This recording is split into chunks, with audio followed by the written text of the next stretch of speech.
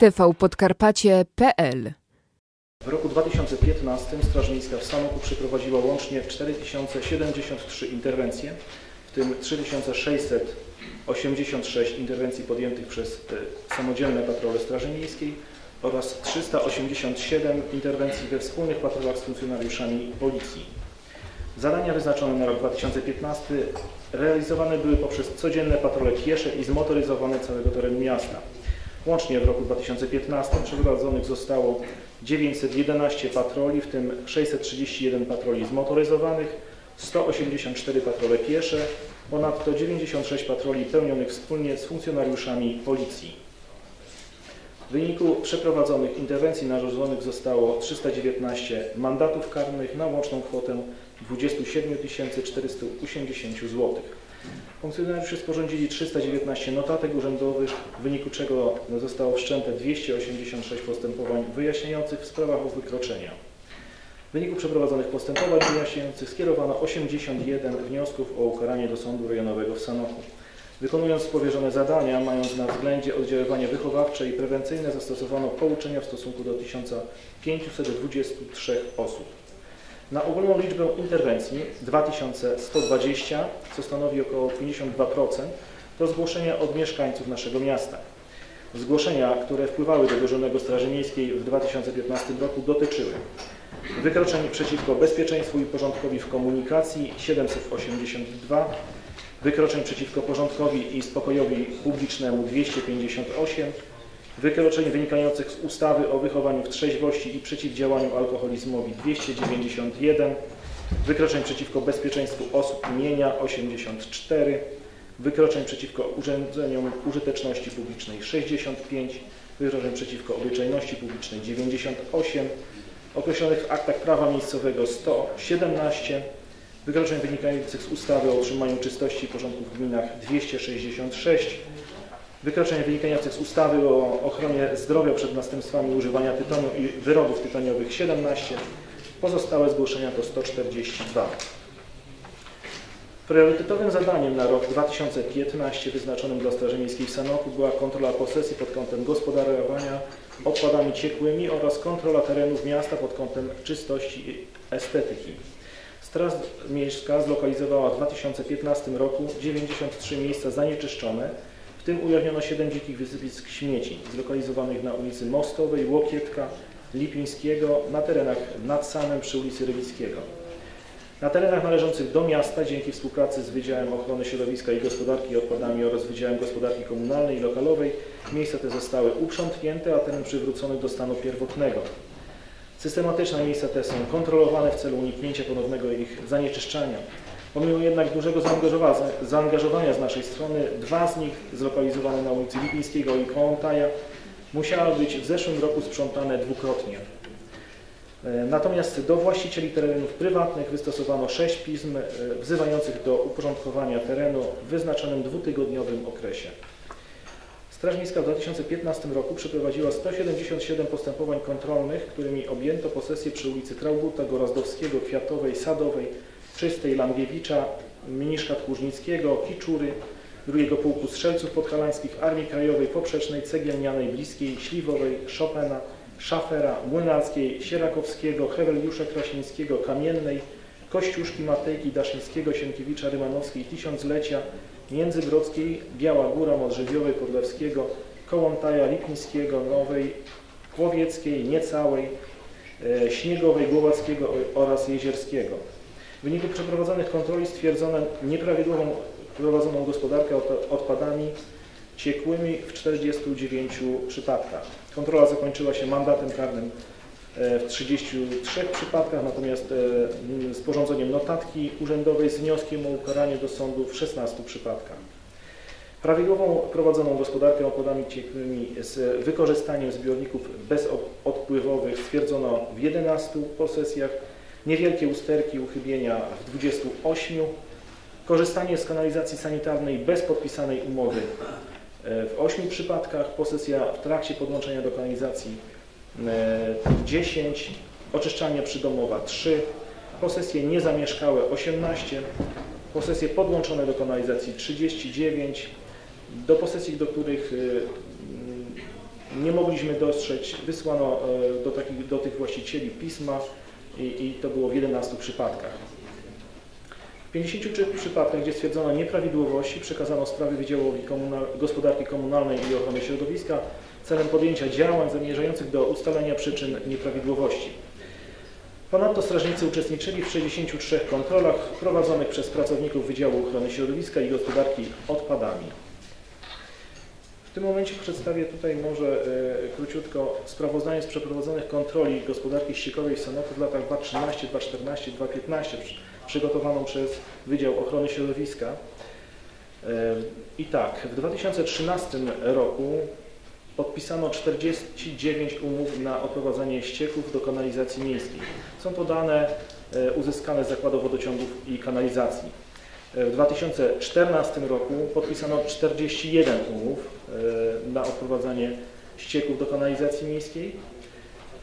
Natomiast w roku 2015 w wyniku Mam nadzieję również i naszej tutaj jest jakiś wkład. Podpisano 245 umów na odprowadzanie ścieków do kanalizacji.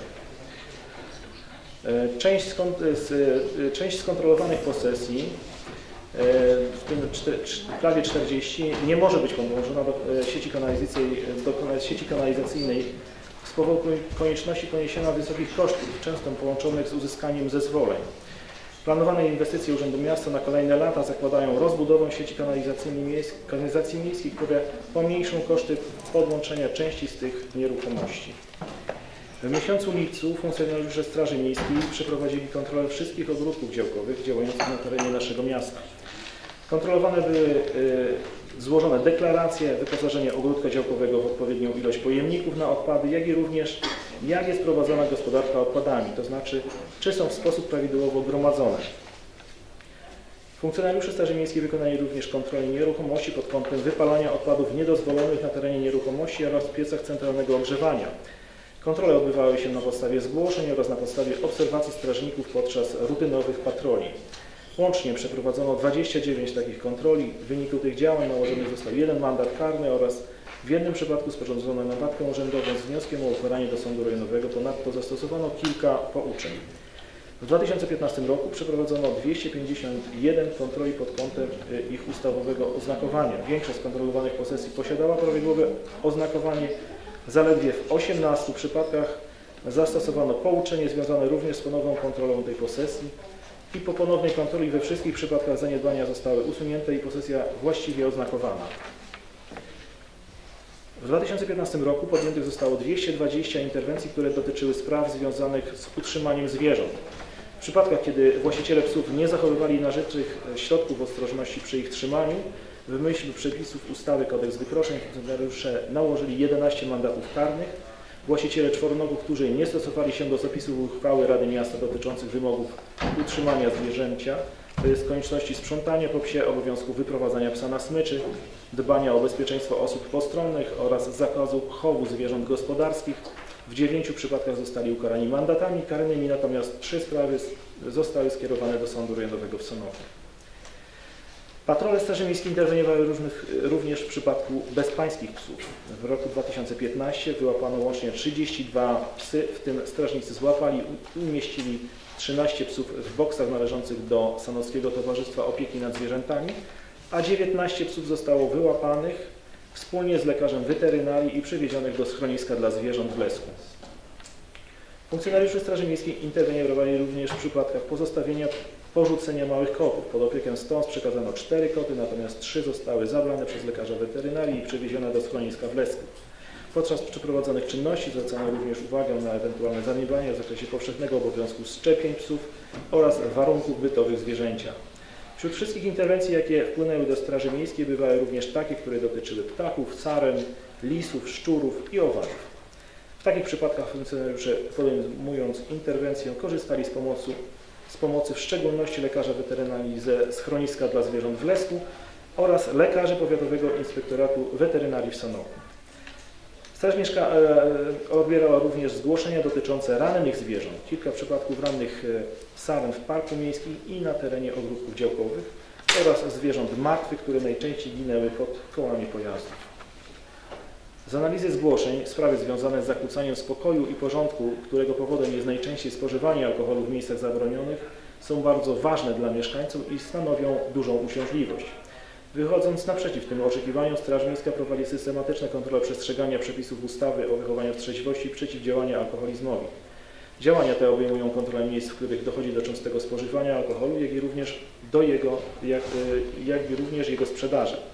W wyniku działań podjętych przez patrole Straży Miejskiej w związku z ujawnieniem wykroczeń obejmujących zagadnienia związane z przeciwdziałaniem alkoholizmowi nałożono 125 mandatów karnych, skierowano 27 wniosków o ukaranie do sądu, udzielono 367 pouczeń. Sprawy, które wykraczały poza uprawnienia Straży Miejskiej zostały przekazane innym organom i instytucjom, to jest Policja, placówki wychowawcze Miejska Komisja Rozwiązywania Problemów Alkoholowych. Zgodnie z posiadanymi uprawnieniami, w przypadku kiedy osoby swoim zachowaniem dawały powód do zgorszenia w miejscu publicznym lub znajdowały się w okolicznościach zagrażających ich życiu lub zdrowiu, albo zagrażały życiu lub zdrowiu innych osób, były przewożone do Komendy Powiatowej Policji w Sanoku celem osadzenia do czasu wytrzeźwienia bądź przewożone do miejsca ich zamieszkania. W 2015 roku w stosunku do takich osób Straż Miejska interweniowała 56 razy. Tym 13 osób osadzono w pomieszczeniach dla osób zatrzymanych, a 40 przekazano pod opiekę domowników. Pomocą w zakresie profilaktyki związane z przeciwdziałaniem alkoholizmowi jest również współpraca z pełnomocnikiem burmistrza do spraw rozwiązywania problemów alkoholowych oraz Miejską Komisją Rozwiązywania Problemów Alkoholowych. W minionym roku dzięki tej współpracy zakupione zostało urządzenie AlcoBlow, które umożliwia wykonanie testu na zawartość alkoholu w wydychanym powietrzu. Szczególnie duże zainteresowanie ze strony mieszkańców oraz osób czasowo przybywających na terenie miasta obserwuje się w okresie świąt, przy okazji długich weekendów, jak i również w czasie wakacji, wakacyjnych urlopów. W okresie zimowym strażnicy przeprowadzili wzmożone i cykliczne kontrole miejsc, w których mogą przybywać osoby bezdomne. Weryfikowane były te, w których bezdomni przybywali w poprzednim okresie, ale i również ustalono kilka nowych lokalizacji, np. pustostan przy ulicy Dema. Działania te skupiały się na problemie ludzi wykluczonych społecznie, pozbawionych własnego mieszkania, dotkniętych chorobami, którzy adaptowali na prowizoryczne mieszkania pustostany, wnęki budynków. Strażnicy miejscy patrolując i kontrolując miejsca przebywania osób bezdomnych w przypadku stwierdzenia zagrożenia życia i zdrowia podejmowali działania mające na celu doprowadzić osoby bezdomne do i domu inwalidy bezdomnego e, świętego brata Argota. W wyniku tych działań umieszczono tam sześć osób. Należy tutaj zaznaczyć, że aby taka osoba mogła przy, zostać przewieziona do schroniska, musi wyrazić na to zgodę. Niestety bardzo często patrol spotyka się z odmową z jej strony. Osoby takie były rozpytywane, czy nie potrzebują pomocy medycznej, ustalone były ich dane osobowe. W czasie dużych mrozów każdego dnia strażnicy patrolowali kilkadziesiąt miejsc e, takich, to jest klatki schodowe, piwnice budynków, pustostany, tereny nad Sanem, park miejski, w których przebywali bezdomni, aby udzielić im jak najlepszej pomocy. Każde zgłoszenie o bezdomnej, które, kiedy temperatura na zewnątrz spada poniżej zera, to sytuacja potencjalnie bezpośrednio zagrażająca życiu i zdrowiu tych osób, dlatego też zgłoszenia takie traktowano priorytetowo. Kolejnym polem działania Straży Miejskiej jest profilaktyka dzieci i młodzieży szkolnej. Celem prowadzonych przez Straż Miejską działań edukacyjnych jest ograniczenie zjawisk negatywnych z udziałem dzieci i młodzieży zarówno na terenie placówek oświatowych, jak i poza nimi. Programy edukacyjne realizowane e, przez Straż Miejską w okresie od stycznia do grudnia 2015 adresowane były przede wszystkim do dzieci i młodzieży szkolnej. Proponowane zagadnienia były odpowiedzią na oczekiwania nauczycieli, uwzględniające jednocześnie nowe zjawiska pojawiające się w otaczającej rzeczywistości. Dla młodzieży szkół ponadgimnazjalnych przeprowadzono zajęcia dotyczące odpowiedzialności prawnej za przestępstwa i wykroczenia. Na zajęciach omówione zostały również zagadnienia dotyczące negatywnych skutków e, zażywania środków odurzających narkotyków, spożywania alkoholu oraz palenia tytoniu. W szkołach podstawowych i przedszkolnych przeprowadzono zajęcia, podczas których Przybliżono dzieciom zasady bezpiecznego uczestnictwa w ruchu drogowym oraz niebezpieczeństwa, jakie niosą za sobą kontakty z, obca, z osobami obcymi. Omówiono schemat działania w przypadku zagubienia się oraz zachowania w innych sytuacjach kryzysowych i niebezpiecznych, jak np. zachowanie zasad bezpieczeństwa w lesie, nad wodą i ze zwierzętami. W minionym roku Straż Miejska podjęła współpracę z ośrodkiem dla ofiar przemocy w rodzinie SOS Lesko, z którym realizowane były zajęcia pod hasłem agresja i pomoc rówieśnicza, trening asertywnych zachowań. Początkiem roku szkolnego, tak jak cyklicznie w latach poprzednich, zrealizowane były zajęcia profilaktyczne dla młodzieży bursy szkolnej w Sanoku przy ulicy Chopina. Patrole Straży Miejskiej obejmowały stałym nadzorem tereny szkół oraz placówek oświatowych. Kontrolowane były prowadzone, kontrole były prowadzone zarówno w godzinach pracy szkoły pod kątem bezpieczeństwa, jak i w godzinach wieczorno-nocnych pod kątem zanieczyszczenia terenu, niszczenia mienia i spożywania alkoholu. W okresie od września do czerwca prowadzone są cykliczne działania pod hasłem Wagarowicz. Celem tych działań jest zapobieganie zjawisku uchylania się od obowiązku szkolnego. W przypadku, kiedy patrol ujawnił, że uczeń wagaruje, kontaktował się ze szkołą, do której uczęszcza i odprowadzał taką osobę do placówki oświatowej. W przypadku osoby pełnoletniej interwencja kończyła się przekazaniem informacji do sekretariatu szkoły. W okresie wakacyjnym Straż Miejska bierze udział również w zabezpieczeniu porządku i spokoju publicznego podczas zajęć organizowanych w ramach programu Wychowawca Podwórkowych oraz prowadzone przez Straż Miejską akcji Bezpieczne Wakacje. Zadania te były realizowane poprzez patrolowanie terenów placówek oświatowych, boisk szkolnych, placów zabaw oraz terenów rekreacyjnych. Na tych terenach strażnicy podejmowali działania zmierzające do zapewnienia bezpieczeństwa dzieciom i młodzieży spędzającej tam czas. Straż Miejska prowadzi regularne kontrole na sanockich targowiskach przy ulicy Traguta, Lipińskiego i Okulickiego, zwracając uwagę na porządek i czystość w miejscach prowadzenia handlu, przestrzegania przez osoby handlujące regulaminu targowisk oraz prawidłowego parkowania. Podejmowane były także interwencje mające na celu eliminowanie handlu ulicznego prowadzonego najczęściej w miejscach zabronionych, często w pobliżu targowisk, a także na ulicach i chodnikach. W takich przypadkach pouczano handlujących i w większości przypadków skutecznie do natychmiastowego zaprzestania handlu. Zwiększona ilość interwencji w tym zakresie była w okresie od, przed e, Dniem Święta Zmarłych, w okresie sezonowej sprzedaży owoców. W wielu miejscach, szczególnie na terenie zarządzanych przez spółdzielnie mieszkaniowe, zezwolono bowiem na handel za wydanym zezwolenia. Strażnicy kontrolowali w takich sytuacjach, czy handlujący takie zezwolenie posiadają.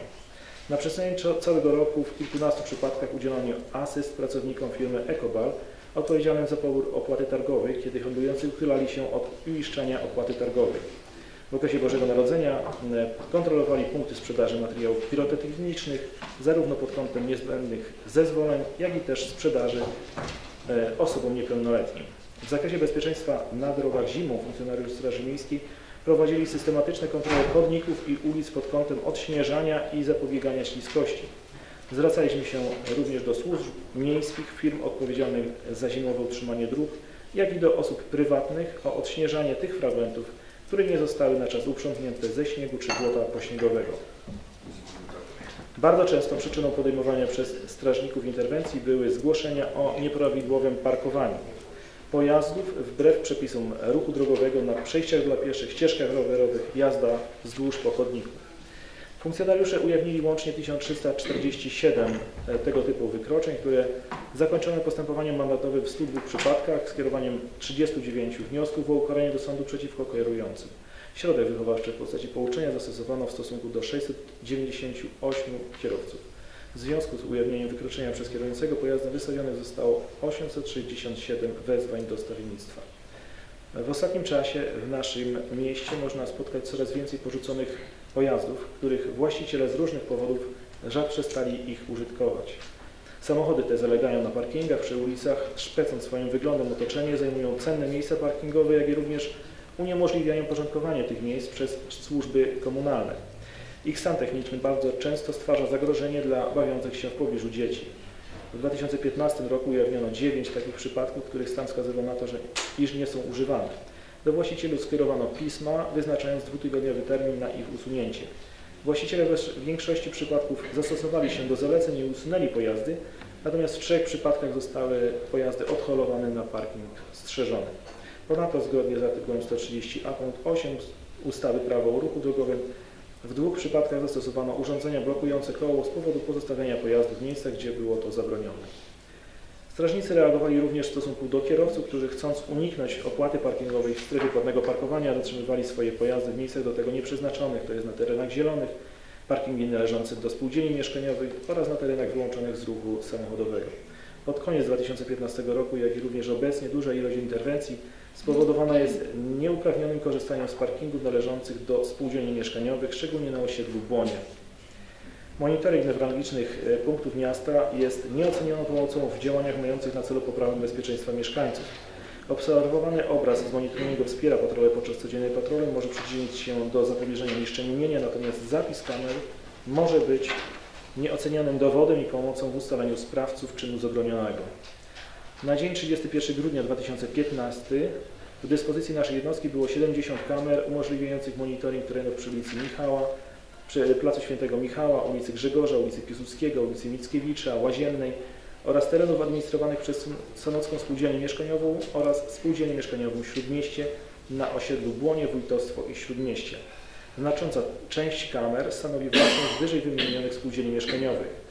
Zapisany materiał z monitoringu bardzo często jest wykorzystywany przez funkcjonariuszy Komendy Powiatowej Policji w Sanoku. W tym miejscu nadmienię, że w styczniu 2016 roku został e, monitoring miejski rozbudowany o kolejne 12 kamer, które są zamontowane na skrzyżowaniu ulicy 3 Maja z e, ulicą Kościuszki 3, Kościuszki Mickiewicza, również 3 e, na rynku mamy trzy nowe kamery, na osiedlu Błonie na budynku przychodni dwie kamery i jedna kamera jest zamontowana na ogródku jordanowskim przy ulicy Żydowskiej. Realizując zadania wynikające z porozumienia zawartego pomiędzy burmistrzem miasta Sanoka a komendantem Komendy Powiatowej Policji w Sanoku, w 2015 roku zrealizowano 96 wspólnych patroli, w tym 52 patrole z Wydziałem Prewencji oraz 44 patrole z Wydziałem Ruchu Drogowego. Z Wydziałem Prewencji zrealizowano głównie patrole w soboty w godzinach nocnych, natomiast w środy realizowane były patrole z Wydziałem Ruchu Drogowego ukierunkowane głównie na bezpieczeństwo ruchu pieszych w rejonie targowisk miejskich. W ramach współpracy Dyżurny Straży Miejskiej utrzymuje łączność z Dyżurnym KPP w Sanoku, co ma na celu wzajemną wymianę informacji dotyczącą podejmowanych interwencji oraz zgłoszeń. W 2015 roku zostało przekazanych i zrealizowanych przez patrole Straży Miejskiej 155 zgłoszeń od dyżurnego KPP Sanok. Dyżurny Straży Miejskiej natomiast przekazał do dyżurnego Policji 29 zgłoszeń. Wspólnie z funkcjonariuszami KPP Sanek zabezpieczany jest spokój i porządek podczas imprez, zawodów sportowych, uroczystości, zgromadzeń publicznych organizowanych na terenie naszego miasta. Współpraca pomiędzy Strażą Miejską a Policją to również szkolenia, w których biorą udział funkcjonariusze obu formacji. W 2015 roku przeprowadzone zostały szkolenie dla osób pełniących funkcję oskarżycieli publicznych Straży Miejskiej. Szkolenie zostało przeprowadzone przez funkcjonariuszy Komendy Powiatowej Policji w Sanoku. Straż Miejska ściśle współpracuje z wydziałami Urzędu Miasta w Sanoku. Dla potrzeb urzędu e, zostało przeprowadzonych 80, 96 e, konwojów dokumentów. Funkcjonariusze Straży Miejskiej 83 razy asystowali przy czynnościach urzędowych prowadzonych przez e, instytucje działające na terenie miasta, m.in. przy czynnościach lokalowych, sanitarno-porządkowych, meldunkowych. Na potrzeby Wydziału Edukacji i Kultury Fizycznej ustalono miejsce zamieszkania 8 osób niewypełniających obowiązków nauki i młodzieży wieku 16-18 lat dla potrzeb Wydziału Gospodarki Komunalnej i Lokalowej w 2015 roku e, Straż Miejska ustaliła dane 915 właścicieli pojazdów, którzy uchylali się od opłaty związanej z parkowaniem w strefie płatnego parkowania.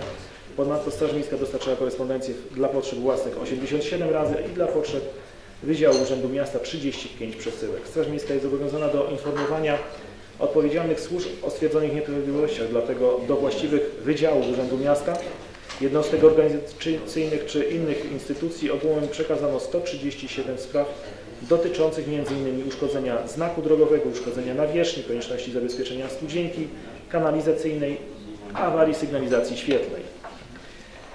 W 2015 roku strażnicy pełnili służbę zabezpieczając e, imprezy masowe, uroczystości państwowe i kościelne odbywające się na terenie miasta. Do najważniejszych należały procesja prawosławnego o świętach Sztupańskiego, siódma młodzieżowa parada niepodległości, święto flagi i święto uchwalenia Konstytucji 3 maja, juwenalia sanockie, peregrinacje symboli Światowych Dni Młodzieży, procesja Bożego Ciała, bieg o puchar prezesa Paspol, koncert zespołu Ira, Ira jarmark na rynku, Pogrzeb ojca e, Andrzeja Deptucha, bieg Sokoli, uroczystości odzyskania niepodległości, Wigilia na Sanockim Rynku oraz zgromadzenia publiczne.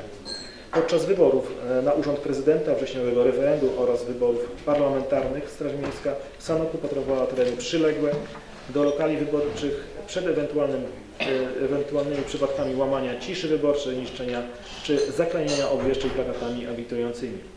Funkcjonariusze Straży Miejskiej jak co roku brali też aktywny udział w zabezpieczeniu akcji znicz, wskazując kierowcom odwiedzającym grody swoich bliskich miejsce do zaparkowania pojazdów, zapewniali płynny ruch na parkingach, bez czego dochodziłoby do całkowitego zakorkowania parkingów, a w efekcie do paraliżu komunikacyjnego. W okresie kilku dni przed Dniem Wszystkich Świętych były prowadzone wspólne patrole z funkcjonariuszami policji na, cmentarzu, na cmentarzu centralnym oraz południowym pod kątem zapobiegania kradzieży, dewastacji, i tym podobnym wykroczeniom czy przestępstwom. Na koniec może y, sprawozdania podam jeszcze informację o stanie etatowym i wyposażeniu naszej jednostki. I tak, stan etatowy na dzień 31 grudnia 2015 to 13 etatów. W nowym złożeniu Straży Miejskiej znajduje się jeden samochód osobowy, środki łączności radiowej, sprzęt komputerowy i fotograficzny, podstawowy sprzęt do wyłapowania psów w klatkach, chwytach, siatka, środki yy, wyposażenia osobistego funkcjonariuszy, to jest pałki służbowe, chemiczne środki obezwładniające w postaci ręcznych miotaczy substancji obezwładniających, przeznacza, przedmioty przeznaczone do obezwładnienia osób za pomocą energii elektrycznej oraz kajdanki zakładane na ręce. Główne cele, jakie stawiamy sobie na rok 2016 to po pierwsze stałe rozwijanie kontaktu ze społecznością lokalną, szczególnie z radami dzielnic, stowarzyszeniami itd., regularne spotkania, wymiana informacji, maksymalna pomoc mieszkańcom w rozwiązywaniu ich problemów. Zwiększenie swojej obecności i aktywności w miejscach wytypowanych przez konsultacje z radami dzielnic i mieszkańcami. Eliminowanie dzikich wysypisk związanych z nieprawidłowym gromadzeniem i usuwaniem odpadów, i egzekwowanie od właścicieli nieruchomości utrzymania czystości i porządku na terenie nieruchomości. Bardzo dziękuję za uwagę.